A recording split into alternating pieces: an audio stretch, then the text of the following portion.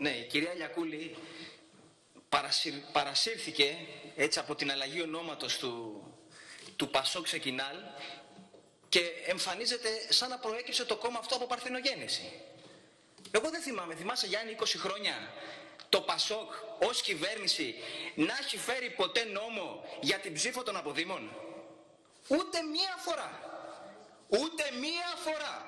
Δεν κατορθώσατε να κάνετε ούτε αυτό που ζητάγαμε ως ΚΚΕ εδώ και 30 χρόνια σε διάφορες διακομματικές επιτροπές που στείνατε να γίνει μια καταμέτρηση αυτού του κόσμου. Ούτε εσείς ούτε Νέα Δημοκρατία.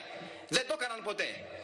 Μια καταμέτρηση αυτού του κόσμου να δούμε πώς είναι αυτοί τέλος πάντων οι άνθρωποι, οι Έλληνες απόδημοι του εξωτερικού. Ούτε αυτό δεν κάνατε. Και έρχεστε εδώ με στόμφο να μιλάτε σαν να προκύψετε από παρθενογένεση. Παρ' όλα αυτά, εμείς ξαναθέτουμε το ερώτημα. Ποιο είναι το νόημα της σημερινής συζήτησης; Όταν υπάρχει νόμος ψηφισμένος και όταν αυτό που θα είχε νόημα ήταν να γίνει μια συζήτηση βεβαίως και σε αυτή την Επιτροπή και στην Επιτροπή Απόδημου Ελληνισμού για να δούμε πώς προχωράει η εφαρμογή αυτού του νόμου και τι ζητήματα προκύπτουν. Δεν κάνετε αυτή τη συζήτηση και ξανανοίγετε μια ολόκληρη διαδικασία νομοπαρασκευαστική και λέτε για ποιο λόγο επειδή λέει έγιναν οι δηλώσεις της κυρίας Τζάκη. Αυτός είναι ο λόγος. Δηλαδή επειδή έκανε δηλώσεις η κυρία Τζάκη ανεκδιήγητες λέμε εμείς. Εσείς ξεκινάτε μια νομοπαρασκευαστική διαδικασία η οποία θα εξελιχθεί σε ένα αποπροσανατολιστικό δικοματικό καυγά. Είναι αυτός λόγος. Σοβαρά μιλάτε. Αυτή, και ξαναλέω, σε συνθήκες πανδημίας, κρίσης, προβλημάτων, κατάρρευσης, σε μια περίοδο που ο λαός δίνει μια μάχη ζωής. Η πολιτική προτεραιότητα της ηγεσίας του Υπουργείου Εσωτερικών είναι να φέρει ένα τέτοιο νόμο για να στήσουμε εδώ ένα επικοινωνιακό δικοματικό σοου. Μάλλον αυτή είναι. Συζήτηση θα μπορούσε να γίνει βεβαίως, δεν έχουμε πρόβλημα. Και να κληθούν και οι απόδημοι και οι εκπρόσωποι τους και να γίνει συζήτηση. Αφού τέθηκε τέτοιο ζήτημα από την ε, από τις δηλώσεις της κυρίας Τζάκρη. Θα έρθω παρακάτω σε αυτό. Τι αποδεικνύεται όμως με όλη αυτή την ιστορία; Αποδεικνύεται για μια ακόμη φορά αυτό που είχαμε πει εμείς και τότε στο νόμο που ψηφίστηκε το 2019 και αποδεικνύεται προϊόντος του χρόνου ο πολιτικός τυχοδιοκτισμός. Ο πολιτικός τυχοδιοκτισμός. Όλων σας και της Νέας Δημοκρατίας και του ΣΥΡΙΖΑ και του κινήματος αλλαγής. Αποδεικνύονται τα πολιτικά παιχνίδια που παίζετε στις πλάτες των αποδήμων και αποδεικνύεται η απροκάλυπτη και αποκρουστική, η απροκάλυπτη και αποκρουστική ψηφοθυρία που κάνετε. Όλα τα παραπάνω, όλη αυτή η συζήτηση είναι ενδεικτική του πώς αντιμετωπίζετε τους απόδημους. Πώς τους αντιμετωπίζετε ως κουκιά. Έτσι τους αντιμετωπίζετε τους αντιμετωπίζετε ως κουκιά. Και την ίδια στιγμή είσαστε εσείς οι ίδιοι, είσαστε τα ίδια κόμματα, η Νέα Δημοκρατία, το ΠΑΣΟΚ, η πολιτική τους πρόγονη, η πολιτική τους πρόγονη, ο ΣΥΡΙΖΑ στη συνέχεια που κυβέρνησε, που ευθύνεστε για τον ξεριζωμό αυτών των ανθρώπων και των οικογενειών τους. Από το, το αμίμητο θυμόμαστε, εμείς δεν θυμόμαστε, το γνωρίζουμε από τα βιβλία. Η μετανάστευση είναι ευλογία Θεού δια τον τόπο της δεκαετίας του 60 μέχρι τα νέα κύματα μεταναστών στα χρόνια της κρίσης και των μνημονίων. Όλο αυτό το διάστημα η μετανάστευση ήταν αποτέλεσμα των πολιτικών επιλογών που έκαναν οι κυβερνήσεις και το αποτέλεσμα ενός βάρβαρου και απάνθρωπου συστήματος. Δεν είναι φυσικό φαινόμενο η μετανάστευση. Δεν είναι φυσικό φαινόμενο η προσφυγιά. Και σήμερα οι θύτες έρχονται να εμφανιστούν ως προστάτες. Τεράστια υποκρισία. Λέτε ότι θέλουν να έχουν φωνή οι Έλληνες απόδημοι. Το ακούμε πολύ συχνά. Θέλουμε να έχουμε φωνή. Και ποιος σας είπε ότι δεν είχαν φωνή ή δεν έχουν φωνή όλα αυτά τα χρόνια; Και φωνή έχουν και συλλόγους έχουν και οργανώσεις έχουν και όλα αυτά τα χρόνια φωνάζουν για τα προβλήματά τους όμως φωνάζουν σε ότα ισότα μη ακούοντων. Γιατί οι κυβερνήσεις, όλοι σας δηλαδή, ποτέ δεν ασχολήθηκαν σοβαρά να λύσουν τα προβλήματα αυτών των ανθρώπων. Και πάμε και λίγο και πιο συγκεκριμένα. Ορισμένες παρεμβάσεις του τελευταίου διαστήματος, ερωτήσεις κοινοβουλευτικού, κοινοβουλευτικού ελέγχου. Απειλή κλεισίματος των τμήματων ελληνικής γλώσσας. 100 Ελληνόπουλα στο Βερολίνο. Τμήματα ελληνικής γλώσσας. Μεγάλη αγανάκτηση και ταλαιπωρία προκαλούν στους Έλληνες μετανάστες της Αυστραλίας οι τεράστιες λίστες αναμονής λόγω της δραματικής συρρήκνωσης προσωπικού του προξενείου της Μελβούρνης. Η γραφειοκρατία κύριε Κουμουτσάκο, η γραφειοκρατία του προξενείου της Μελβούρνης, η δική σας πολιτική. Κλείσιμο τμήματων εδρών και προγραμμάτων ελληνικής γλώσσας στο Σίδνεϊ, στην Βελβούρνη, στη Βουδαπέστη, στην Κοπεχάγη κτλ. κτλ. Αυτά είναι. Αυτή είναι η πολιτική σας. Αυτό είναι το ενδιαφέρον σας για τους απόδημους και τους μετανάστες εργαζόμενους, φοιτητές, επιστήμονες του εξωτερικού. Και σας ανέφερα μόνο ορισμένες παρεμβάσεις του τελευταίου διαστήματος. Γιατί αν ανοίξουμε αυτή τη συζήτηση δεν θα τελειώσουμε ποτέ. Αυτή είναι όμως η πολιτική σας. Και πάμε να δούμε τώρα πώς εκφράζεται και ο τυχοδιοκτισμός. Η Νέα Δημοκρατία υποστηρίζει τη δυνατότητα όλων των Ελλήνων του εξωτερικού να ασκούν το εκλογικό δικαίωμα από τον τόπο κατοικίας χωρίς κανένα απολύτως κριτήριο.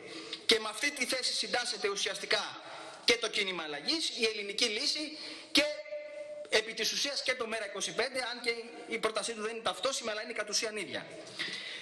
Πρέπει να υποθεί όμως πού οδηγεί αυτή η πρόβλεψη, πού οδηγεί οδηγεί δυνητικά στη διαμόρφωση ενός τεράστιου εκλογικού σώματος που θα καθορίζει τις πολιτικές εξελίξεις στην Ελλάδα και που πιθανότατα, σχεδόν σίγουρα, δεν θα υφίσταται τις συνέπειες της όποιας πολιτικής επιλογής. Γιατί; Γιατί είναι δεδομένο ότι μέσα σε αυτό το απροσδιόριστο εκλογικό σώμα θα υπάρχουν χιλιάδες άνθρωποι που δεν έχουν κανένα κοινωνικό ή οικονομικό δεσμό με τη χώρα, μπορεί να μην έχουν καν επισκεφτεί την Ελλάδα σε όλη τους τη ζωή, ενώ η ζωή τους την ίδια στιγμή εξαρτάται ή διαμορφώνεται με βάση τις κοινωνικές και πολιτικές συνθήκες μιας άλλης χώρας.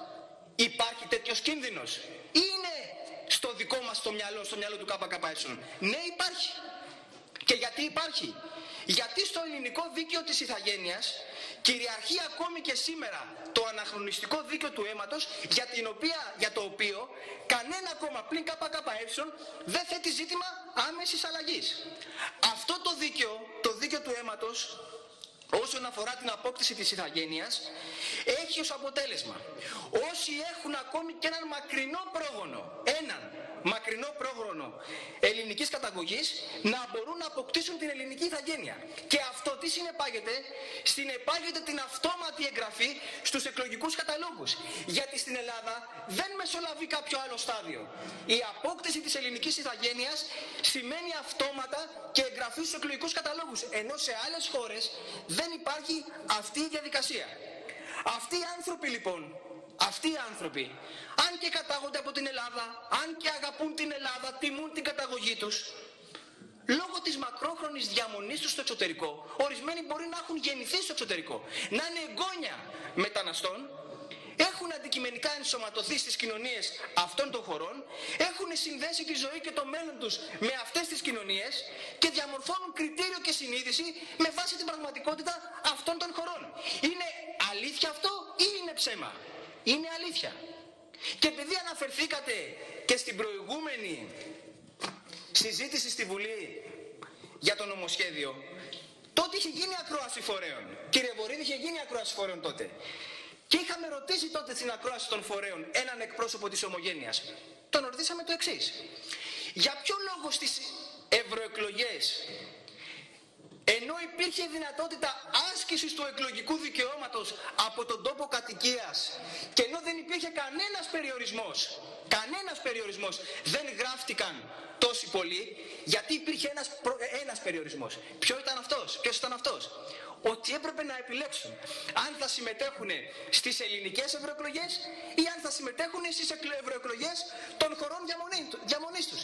Και οι περισσότεροι, λογικά, φυσικό είναι αυτό, επέλεξαν ξανασυμμετέχουν στις εκλογικές διαδικασίες, στις ευρωεκλογές των χωρών για μόνοι τους. Γιατί, μα γιατί αυτοί οι άνθρωποι εξαρτούν τη ζωή τους και την τύχη τους από τις πολιτικές εξελίξεις σε αυτή τη χώρα και όχι στην Ελλάδα. Δεν το καταλαβαίνετε αυτό το πράγμα. Πάμε παρακάτω. Τι θα πρέπει να πείτε; Τι θα πρέπει να πείτε στον ελληνικό λαό, γιατί ξέρετε κύριε Βορύδη, κύριε Κουμουτσάκο, κύριε Λιακούλη, το ζήτημα της ψήφου των, των αποδήμων δεν ενδιαφέρει μόνο όσους ζουν έξω, ενδιαφέρει και όσους ζουν μέσα. Και αυτούς ενδιαφέρει. Σε αυτόν λοιπόν τον κόσμο, σε αυτόν λοιπόν τον κόσμο θα πρέπει να του πείτε ότι αν δεν υπάρχουν κριτήρια το αν θα δουλεύει 8ωρο ή 10ωρο θα το συνδιαμορφώνουν και κάποιοι που δεν εργάζονται στην Ελλάδα. Το ότι αν παίρνει την τάδε σύνταξη ή τη δίνα σύνταξη και ποιο θα είναι το ύψος της σύνταξης θα το συνδιαμορφώνουν και κάποιοι οι οποίοι δεν παίρνουν σύνταξη στην Ελλάδα. Το τι σχολεία έχουν, τι νοσοκομεία έχουν όσοι ζουν στο εσωτερικό θα το διαμορφώνουν και κάποιοι που δεν επισκέπτονται τα συγκεκριμένα σχολεία και τα συγκεκριμένα νοσοκομεία. Το τι φορολογία έχουν θα το συνδιαμορφώνουν και κάποιοι, αν δεν υπάρχουν κριτήρια, οι οποίοι δεν φορολογούνται στην Ελλάδα. Το τι εξωτερική πολιτική υπάρχει θα το συνδιαμορφώνουν και κάποιοι οι οποίοι δεν θα κληθούν να προστατεύσουν τα σύνορα εάν χρειαστεί. Αυτά θα πρέπει να τα πείτε. Θα πρέπει να τα πείτε και στο εσωτερικό. Όχι μόνο στο εξωτερικό. Αυτό θα συμβεί αν δεν υπάρχουν κριτήρια και για όλους αυτούς τους λόγους εμείς λέμε ότι πρέπει να υπάρχουν κριτήρια που εσείς δεν θέλετε και όλοι αντιλαμβάνονται που οδηγούν. Απλά βρήκατε την ευκαιρία να ανοίξετε πάλι το θέμα για τα συγκεκριμένα κριτήρια αξιοποιώντας τις δηλώσεις της κυρίας Τζάκρη, βουλευτή του ΣΥΡΙΖΑ και αρμόδια τομεάρχης, η οποία τι έκανε, η κυρία Τζάκρη πήγε να χαϊδέψει τα αυτιά. Αυτό έκανε. Πήγε να χαϊδέψει τα αυτιά στη Νέα Υόρκη, από τη μια μεριά να καταγγέλει τα κριτήρια που και ο ίδιος ο ΣΥΡΙΖΑ ψήφισε και από την άλλη μεριά να τους κρύψει όμως, γιατί δεν υπάρχει αυτό στη δήλωση, ότι δεν θα προσμετράτε η ψήφος τους στο εκλογικό αποτέλεσμα. Αυτός είναι ο πολιτικός τυχοδιοκτισμός όλων σας. Αυτός είναι. Και τον μεν και τον δε. Στη συνέχεια βέβαια ήρθε ο ΣΥΡΙΖΑ να πει ότι δεν είπε την πρόταση την, ε, των κριτηρίων, είπε τη δικιά μας αρχική πρόταση που δεν είχε κριτήρια, που, που, που κτλ. Πάμε λοιπόν στην αρχική πρόταση του ΣΥΡΙΖΑ. Τι έλεγε ο ΣΥΡΙΖΑ, να ψηφίζουν όλοι, απλά να εκλέγουν έναν αριθμό βουλευτών. Δηλαδή, πάλι ψήφος με βάση το δίκαιο του αίματος πάλι ψήφος με βάση το δίκαιο του αίματος που μπορεί να οδηγήσει πάλι σε ένα προσδιορίστο αριθμό. Και αυτοί οι άνθρωποι, αν είναι 500 σε ένα εκατομμύριο, 1,5 εκατομμύριο που θα ψηφίζουν, δεν θα επηρεάζουν τις πολιτικές εξελίξεις. Δεν θα τις επηρεάζουν. Δεύτερον, η πρόταση του ΣΥΡΙΖΑ. Ε, ενιαίο ψηφοδέλτιο. Ενιαία είναι η ομογένεια ενιαία είναι ομογένεια. Όπως ο ελληνικός λαός έχει κοινωνικές και ταξικές διαφοροποιήσεις, δεν χωρίζεται γεωγραφικά ο ελληνικός λαός. Εγώ και οι βουλευτές του ΚΟΚΟ εκπροσωπούμε όχι γενικά τους κατοίκους Ανατολικής Αττικής, εκπροσωπούμε τους εργαζόμενους και τα φτωχά λαϊκά στρώματα. Ο Βορύδης, ο κύριος Βορύδης στην Ανατολική Αττική εκπροσωπεί το κεφάλαιο, εν πάση περιπτώσει. Λοιπόν, έτσι είναι και ομογένεια. Άρα το ενιαίο ψηφοδέλτιο τι λογικές καλλιεργεί; Συν το γεγονός, συν το γεγονός ότι στην πρόταση του ΣΥΡΙΖΑ δεν αποκλείεται και η επιστολική ψήφος. Δεν αποκλείεται η επιστολική ψήφος που είναι βασικό ζήτημα. Απέναντι, τελειώνω κύριε Πρόεδρε, απέναντι σε αυτά τα πολιτικά παιχνίδια λοιπόν στάθηκε και στέκεται η καθαρή στέση αρχών του ΚΚΕ που μάχεται σταθερά για τα προβλήματα των Ελλήνων μεταναστών, που απ' τη μια διευκολύνει την άσκηση του εκλογικού δικαιώματος και απ' την άλλη διαμορφώνει ένα εκλογικό σώμα που προσωμιάζει με τις συνθήκες ζωής του ελληνικού λαού στο εξωτερικό. Και είχε τρεις βασικούς άξονες. Ύπαρξη πραγματικών οικονομικών και κοινωνικών δεσμών, γιατί πρέπει να υπάρχει ενεργητική σχέση του πολίτη με το κράτος, και αυτό ξέρετε δεν είναι κομμουνιστικό, είναι στοιχείο της αστικής λογικής, ότι πρέπει να υπάρχει ενεργητική ενεργητική σχέση δικαιωμάτων και υποχρεώσεων του πολίτη με το κράτος. Εσείς ακόμη και από αυτή τη λογική την αστική στο συγκεκριμένο θέμα έχετε πάρει διαζύγιο. Και από την κοινή λογική εν γέννη. Λοιπόν, ο δεύτερος άξονας ήταν η διαπίστωση ενός ελάχιστου χρόνου παρουσίας στη χώρα τα τελευταία χρόνια και αυτός, ο, και αυτός ο όρος έπρεπε να τεθεί εκτός όλων των άλλων γιατί ποτέ δεν είχε γίνει καταμέτρηση με ευθύνη των κυβερνήσεων. Πότε έφυγε κάποιος άνθρωπος ή η οικογένειά του εξωτερικό δεν υπάρχει αυτό το στοιχείο πουθενά με ευθύνη σας ενώ σε άλλες χώρες υπάρχουν αυτά τα δεδομένα και ο τρίτος άξονας ήταν η αυτοπρόσωπη παρουσία σε εκλογικά τμήματα του εξωτερικού. Όχι απλά επιστολική ψήφο, όχι ηλεκτρονική ψήφο, αυτά τα δίθεν, με, τα δίθεν μοντέρνα, της μεταμοντέρνας δημοκρατίας κτλ. Εκλογές σημαίνει συμμετοχή. Σημαίνει συμμετέχω, σημαίνει συζητάω, σημαίνει ουσιαστική συμμετοχή. Και αυτό κατοχυρώνεται και η εγκυρότητα της ψήφου μέσα από την αυτοπρόσωπη παρουσία σε εκλογικά τμήματα. Γιατί είδατε και είδαμε όλοι τη συζήτηση που ξέσπασε με αφορμή τις εκλογές στις Ηνωμένες Πολιτείες Αμερικής για το ζήτημα της επιστολικής ψήφου ή παλιότερα στην Ιταλία. Αυτά λοιπόν ήταν τα κριτήρια, τα οποία κατά τη γνώμη μας την χάνουν και ευρύτατης αποδοχής και ως, από όσους ζουν εδώ τον ελληνικό λαό που ζει στο εσωτερικό, αλλά και από τους απόδημους. Δεν είναι κριτήρια περιορισμού του εκλογικού δικαιώματος, όπως λέτε, κανένας δεν το κάνει το εκλογικό δικαίωμα, είναι προϋποθέσεις διευκόλυνσης για την άσκηση του εκλογικού δικαίωματος από τον τόπο κατοικίας. Δεν χάνεται το εκλογικό δικαίωμα, όπως επίσης είναι και η διεθνής πρακτική. Γιατί μεγάλα κράτη Μεγάλη Βρετανία, Ηνωμένες Πολιτείες, Γερμανία θέτουν παρόμοια κριτήρια για την ψήφο των δικών τους αποδήμων και τη συμμετοχή τους στις εκλογές. Εκτός αν, και δεν το κάνουν τυχαία, έτσι, αντι, ονονοήτο, γιατί αυτά τα κράτη βάζουν κριτήρια για να μην υπάρχουν και οργανωμένα συμφέροντα που να επηρεάζουν το εκλογικό αποτέλεσμα σε μια χώρα. Εκτός αν αυτό θέλετε. Και το πάτε αλλού. Όμως τα κράτη αυτά βάζουν αυτά τα κριτήρια.